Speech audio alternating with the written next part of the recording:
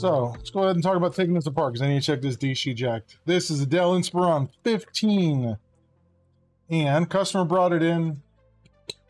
It is not running correctly to say the least.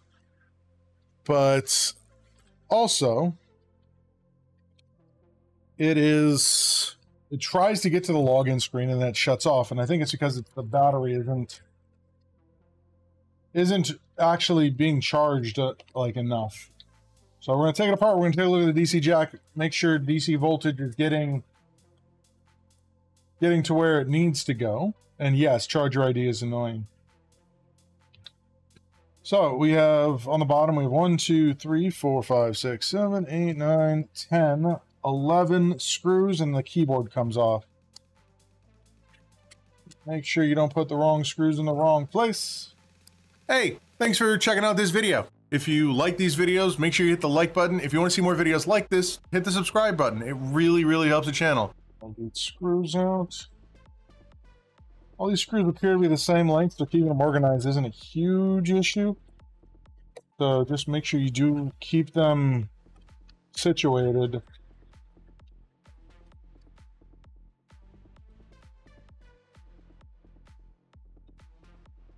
Keep them together. Don't know where these yawns are coming from. Then one in the battery tray. We have three screws underneath here, so you're gonna need a little bit smaller, smaller tip.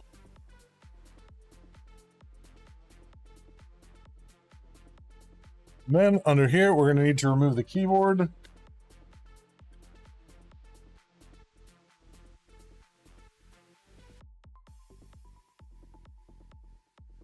Two, three, four, five. Just a simple little flat tool. Push along little clips. It'll lift up. And now we're going to remove the keyboard. And under the keyboard, we have one, two, three, four, five screws and a few ribbon cables. One, two, three, four, five. And then we just peel the bottom off. Just that easy. Now, once you get inside, we have our hard drive over here, which I believe it's like a regular old spinning disc in there. We have a, an actual damaged hinge over here, so we have to be careful with that. This side is good, this side is damaged. We have our CPU, CPU cooler, memory.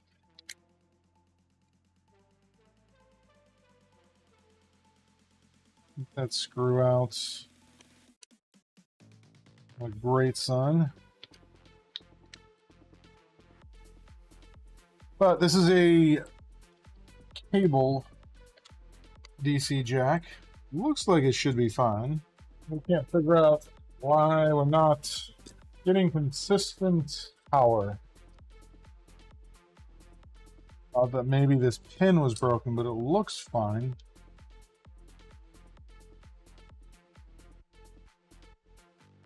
Put these screws back in temporarily. Put all the screws back in temporarily for the hinges so that we can open this thing up without damaging it. Nothing there on that one.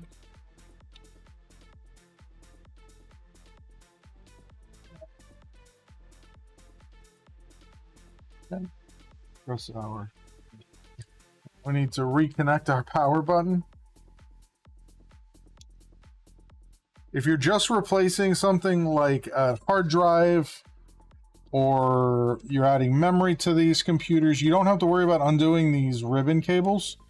Only reason you really would need to worry about the ribbon cable would be if you're in a situation where you need to remove the motherboard.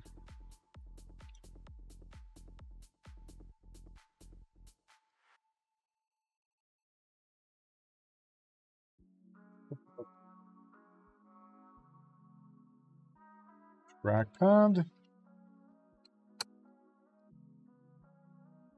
Like, and I can't hook up the keyboard right now. See what happens here.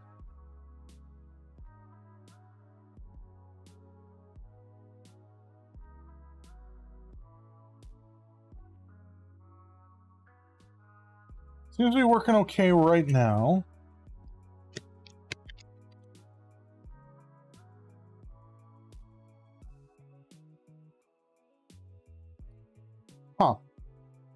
So I'm wondering if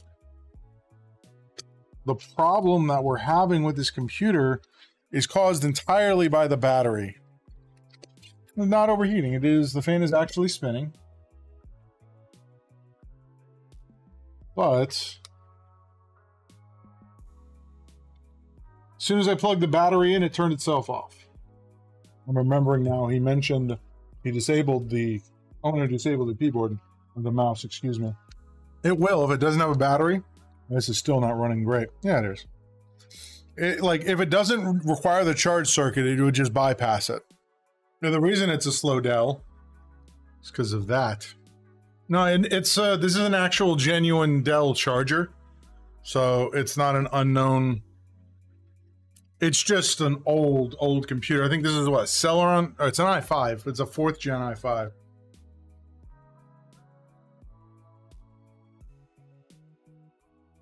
Yeah, so this disk is hitting 100%. So let's check how, like, once we got to wait for this thing to to spin itself down a little bit. And then once it spins down, we should be able to we should be able to check the power settings. All right, let's turn this on without the battery. Try and get into the BIOS because I'm curious if under power, if it's set Wake on AC, USB support, advanced charge. No, nothing like that. So in the BIOS, let's see if it does the same thing in the BIOS. So it's got to be that Windows battery is in currently. It's got to be something in Windows then. Yeah, it's got to be something in Windows that's doing it then. I don't have an option other than can't turn it off. There should be like nothing here. Do nothing.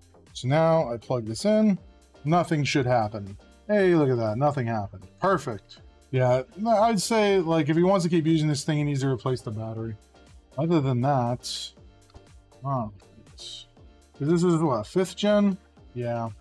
Yeah, fifth gen i5. So at this point, he needs a new battery. He needs an SSD. Everything else on it seems to be fine. So how much are we talking about here? It was 185 or 285 for literally $15 more, he can get a computer that's significantly better that I have here in the office, and I can just move his stuff over.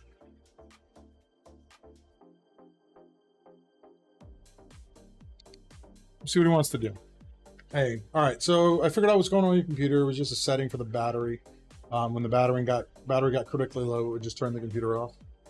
Um, so, and I went through and I basically added up everything that I would recommend doing. Obviously, replacing the battery, uh, replacing the hard drive with an SSD, and then just the actual cost for that. You'd be right at 285.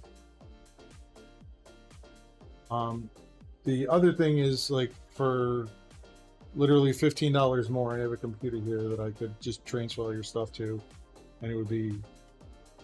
It has a working battery, and it's a more modern computer. Um, just let me know which way you want to go with that, and then we'll kind of go from there. Yeah, thirty bucks for the battery isn't isn't bad. The problem is this is Wait, it was a like this was a manufactured in uh, twenty. So it's ten years old. Hey, thanks for watching that video. If you liked that video, make sure you hit the like button. If you want to see more videos like this, make sure you hit the subscribe button. And I stream daily on Twitch at twitch.tv slash specvengeance. And uh, yeah, if you want to learn more about my services, check out bradentonpcrepair.com. Uh, thanks for watching, and I'll catch you on the next one.